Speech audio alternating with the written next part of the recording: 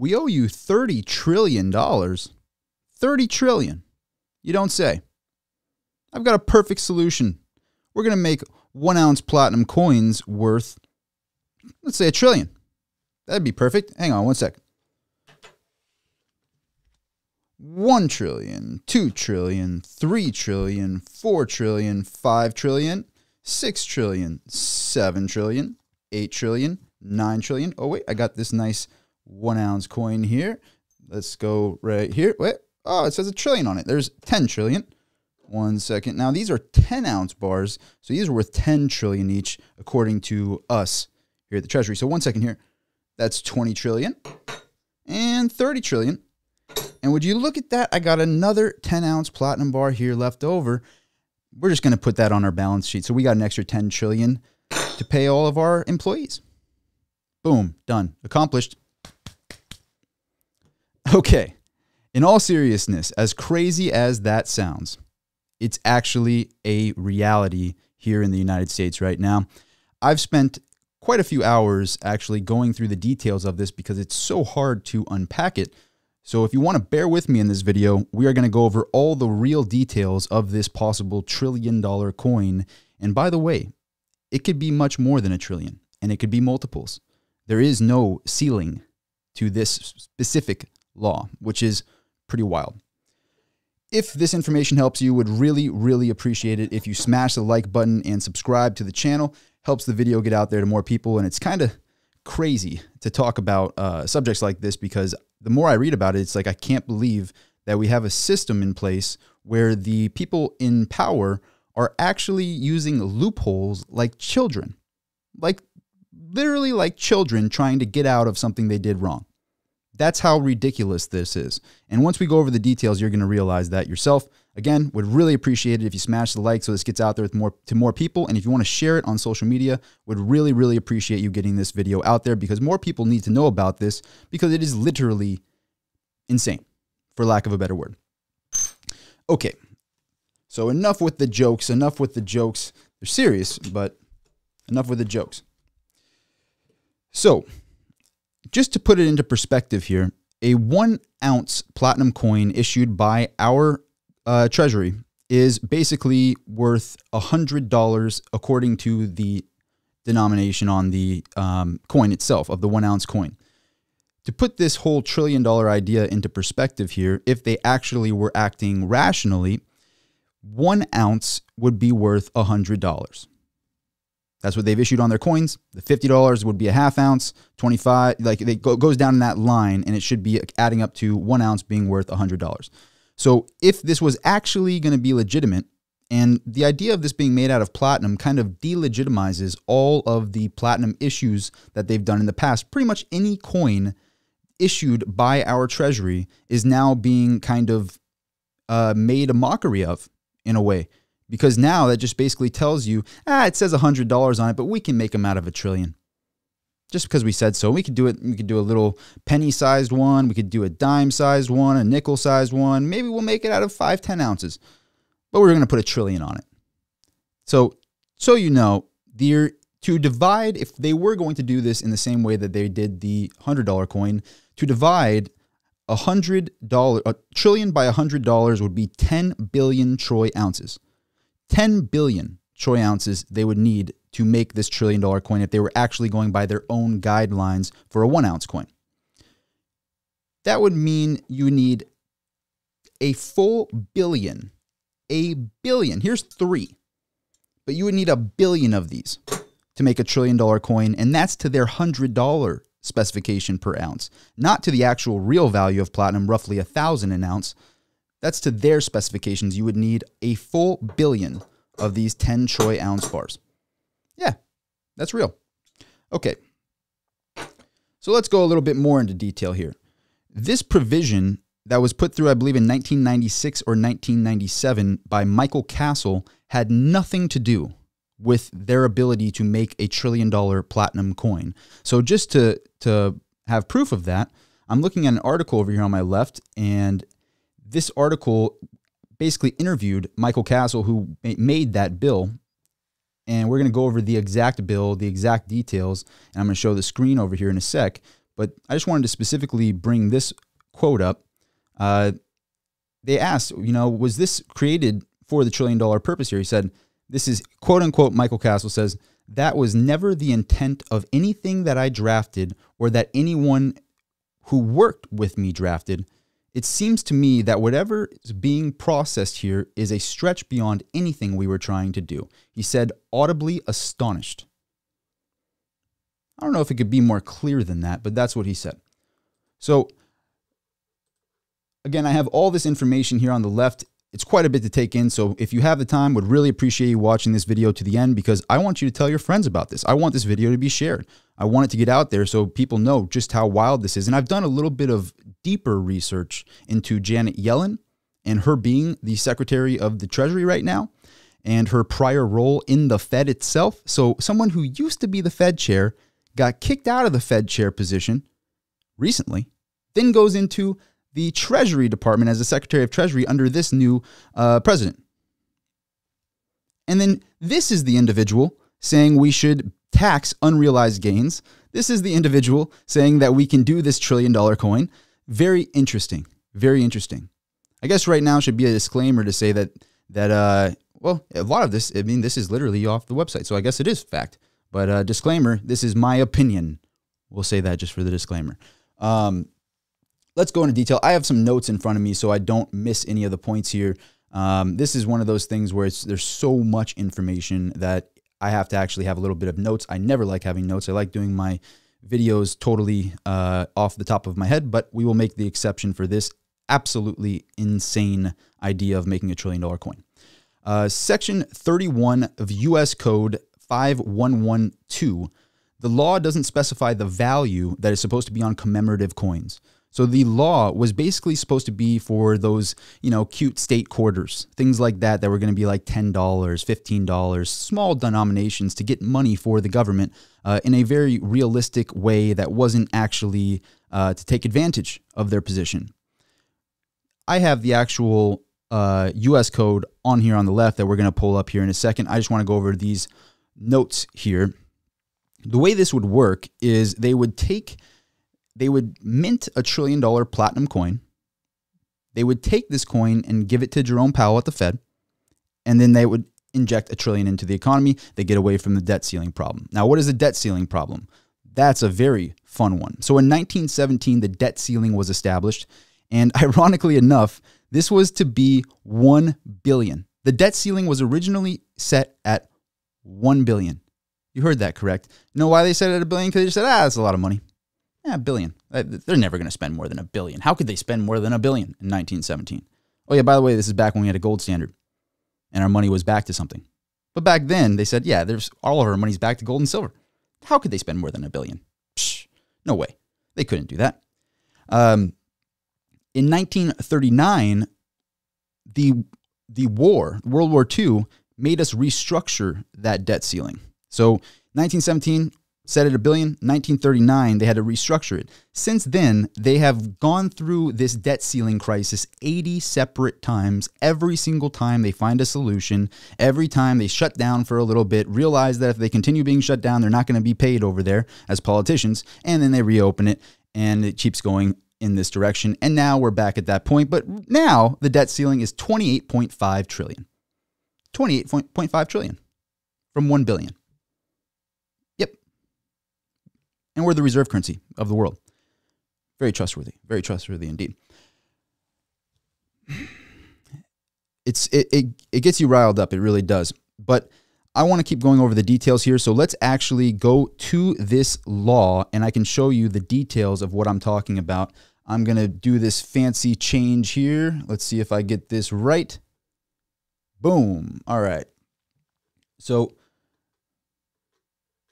here is the actual law. So, since fiscal year 1996, the Mint operated under the United States Mint Public Enterprise Fund. Uh, let's go a little further down here. The concept of striking a trillion dollar coin that would generate $1 trillion in, I don't know how to pronounce that word. I'm a college dropout. We're just going to say, read that, which would be off budget, or numismatic profit, which would be on budget. Uh, and transferred to the Treasury is based on the authority granted by Section 31 U.S. Section 31, United States Code 5112. In 5112, Section K, it originally enacted public law in 1996. The secretary may mint and issue bullion and proof. Now, here's a problem here. This actually is something they had to change in year 2000, which we're going to go over right here. The secretary may mint and issue bullion and proof platinum coins in accordance with such specifications.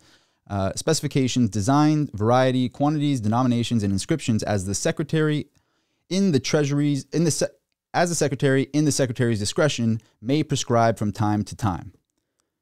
Now, here was the problem because actually, when you go through the details, which I have up here, uh, we're going to go over that as well, where we actually look at the law.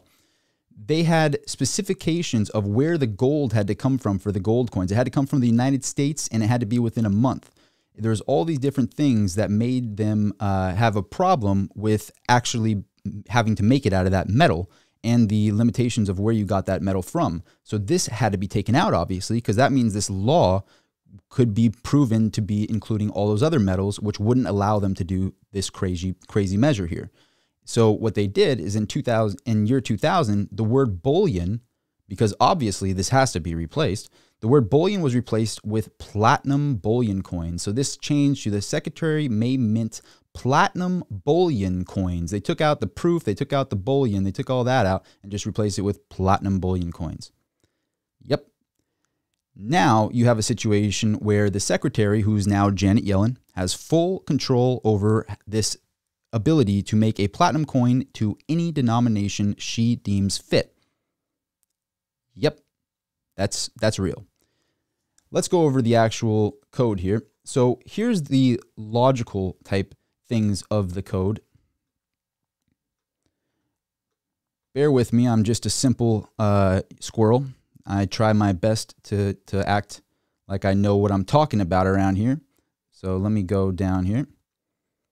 But the best way I can do that is by showing the actual code itself. So maybe I do know what I'm talking about. I don't know. Again, this is just disclaimer, all my opinion. Just all my opinion. Could be true, could be false, just my opinion. I'll let you decide for yourself in the comments down below on what you think about all of this. See, I'm, I'm acting like a politician these days. Disclaimer, disclaimer. View at your own discretion. Okay. So a $25 gold coin, like let's look right here, a $50 gold coin that is 32.7 millimeters in diameter, uh, is and weighs 33.931 grams and contains one troy ounce of fine gold. A 25 dollar gold coin that is 27.0 millimeters in diameter, weighs 16.966 grams contained. Anyway, what the reason for this is it shows you how specific they were supposed to be when this law was originally enacted. All, there's very specific situations here. Now, this all changed due to this 1997 coin situation, or 1996, 1997, I believe it was either one of those years. But let's go down a little bit more here.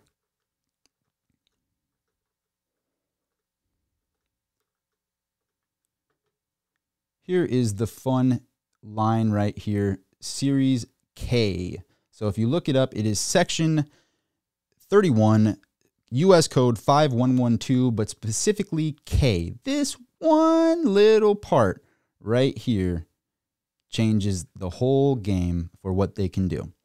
The secretary may mint, the secretary being Janet Yellen, may mint and issue platinum bullion coins and proof platinum coins so that's the change. They made it right there in year 2000. Platinum bullion coins and proof platinum coins in accordance with such spe- specifications, designs, varieties, quantities, denominations, and inscriptions as the secretary in the secretary's discretion may prescribe from time to time. So the original version made by Mike Castle uh, had nothing to do with the ability to make a trillion dollar coin and everything to do with things like this, which was right after that the redesign issuance of quarter dollar commemoration of each of the 50 states. It was meant to be cute commemorative coins to get a little bit of cash flow for the government. That was pretty much what it was. It was not meant to be anything else like a trillion dollar coin. Or keep in mind, they're saying a trillion, but they could do 10, 20, they could do whatever amount of trillions that they want. So, what does that make us look like as a country to everybody else? You know, how, how is all these other countries feeling when the, the reserve uh, currency of the entire world is just like, yeah, let's just mint a coin out of platinum that's not really the right amount of platinum according to the other platinum coins we've made. How do you feel if you bought one ounce platinum coins at a, and you and you see the hundred dollar denomination on them, and then you go, wait a minute, so does it not mean anything that it says hundred dollars on this platinum coin? They can just make out of thin air any any number they want. I mean, 100 is obviously way too low for a one ounce platinum coin, but at least they put something realistic or not, I mean, not real, not actually realistic, but you get what I mean. Because a trillion is just like, it's a comic book. Like that doesn't, I don't even know if that, I don't even know what to say about it. It's, it's, it's laughable. I tried to make it a joke in the beginning and I tried to put in a couple jokes to calm me down and calm you down as a viewer, but it's, it's every bit as scary as it sounds. Every bit as scary because at the end of the day, Janet Yellen, who is the ex Fed uh, chairman or chairwoman, rather, uh, we go to her. She is a member of the Democratic Party and served as the 15th chair of the Federal Reserve from 2014 to 2018. She is the first woman to hold either role. Uh, now, since uh, we have this, we have a new president. She actually was not going to serve as uh, she did wasn't able to serve her next term, which would have not made her the Secretary of Treasury right now, and put Jerome Powell in. Uh, she was not appointed by the former president, so now she has been appointed by the current president as the Secretary of the Treasury. Um, let me go back to prior screen. There we go. Enough of that. I wanted to go over the details there just so you could see the actual law and that this is not a game. It's real. So, what's scary to me is you have an individual that used to be in charge of the Fed and has had positions in the Fed banks. Actually, I believe she was the, wrote it down over here, she was the president of the Federal Reserve Bank of San Francisco at one point. Um, until she got nominated by President Obama to be in charge of the Fed in 2014. She got kicked out by the former president, and then she got put into the Secretary of Treasury position by the current president kind of a little sketchy to have somebody who used to run the Fed making these kind of decisions. And the because the Fed is supposed to be this separate entity that puts checks and balances on these other layers. And the same thing with the Treasury. They're supposed to be separated to separate the powers. You're not supposed to have the person who led one in charge of the other one and now working in, in tandem with each other, where I mint a coin, deposit it to you, even though I used to be in charge of you. You see where I'm going here? I haven't heard anybody talking about how this is a kind of a conflict of interest, but I'm going to go and put it on my channel because really, again, I, I have, I'm putting this stuff out there because I want it out there. And I hope it's worthwhile to hit the like button, share it, subscribe to the channel. If you do that stuff, it helps me with this video. It helps me with this channel to put more and more content out. And I'm just going to do my best to keep it real with you all. And hopefully you do your own research in addition to what I, I literally showed you off of the exact US code 5112, uh, it's pretty wild. But I hope that this information, uh, you realize it's real and it's worthwhile to you. And I really appreciate you all being here. So, again, the, the scariest part of this is when you're the reserve currency of the world and everybody in this country, in the United States, trusts this currency that they're able to just do whatever they want. Now, this is supposedly to pay former debts, but it's it's so unbelievable that it's hard to to think that they're just going to stop with one of these or two of these or three of these or I don't even know how many they can do. But the biggest, in my opinion, uh, the worst thing rather that you can do to a society is pay them or let me rephrase. The worst thing you can do for a society is have wages that are deflationary, and I've said this in the past, and you can quote me on this wages that are deflationary, which means flat or going down. So if you're making 4,000, you're making 5,000, 3,000 a month, whatever you're making per month, is staying the same or going down. And you're paid at the same time in a currency that is inflationary. So the currency is being diluted and inflated to be worth less while you're making less. That is a serious problem. And that's what I personally believe ha- is happening in today's world. Um, I don't see any stopping this in sight because when there is a debt ceiling, they have fixed it 80 times over. They went from the original billion cap Since then, they got rid of the gold standard and they've been printing and printing at will. And now it went from a billion to 28.5 trillion on the debt ceiling. And still, they're arguing about it being too low. Because uh, 28.5 trillion isn't enough on the debt ceiling, right? We got to just make sure it keeps. Who are these children? Who are these children? And you want us to pay this? You want the citizens to pay this? While these children bark at each other and they, they can't own the responsibility because if they, guess what? If they weren't able to get past this debt, debt ceiling, they'd have to shut down because there'd be no money to pay them. But here's the problem the more money you give someone to spend, the more places they find to spend it. As soon as you limit the spending, all of a sudden, the power structures become more frugal with that money. And they don't want that kind of problem. They want to just throw money wherever they want. The people's money, they can just. Why would they ever want to have limitations on that and have to be more frugal with this money? It's pretty wild. It's pretty wild. And, and the last thing I want to say is what, and I, I want to restate this what do other countries think of us? You know, what do they, how do they feel? What is this kind of role model? If someone wants to be in, in politics and wants to try to help the United States get better and better, what kind of role models are you over there? Saying, we'll just get out of this situation. What kind of role model are you, Janet Yellen? Jerome Powell? What kind of role model are you? And, and what are you what kind of examples are you setting for the people of today and the people for tomorrow? Do you care about this country?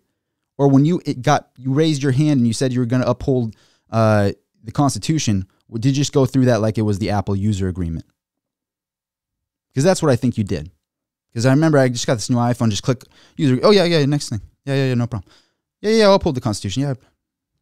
Because what I see is is absolutely ridiculous. The founding fathers would be turning in their grave, and you should be ashamed of yourself, Janet Yellen. You should be ashamed of yourself.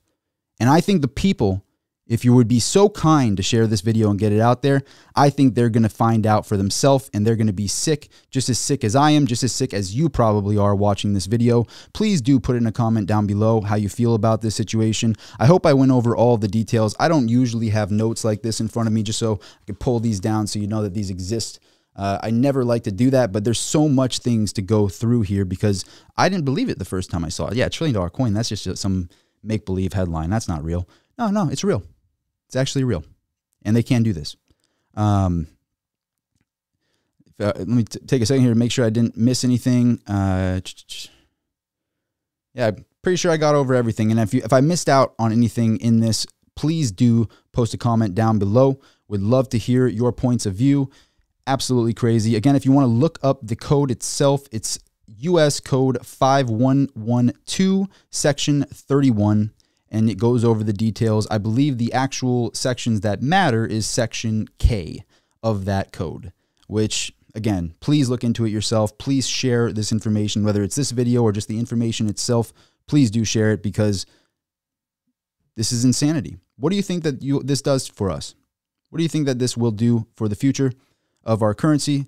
And do you support this? If you do, throw a dislike and tell me why in, in comment down below because I don't support it. I think it's absolutely wrong. I think it's it is just making us a mockery. All right, enough of my rambling. Thank you so much for watching. See you at the next video. Signing out.